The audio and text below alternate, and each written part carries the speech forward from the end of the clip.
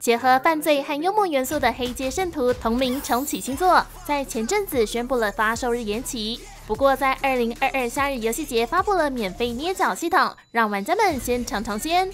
本次的捏脚试玩系统名为 Boss Factory，顾名思义就是专门生产圣徒的 Boss，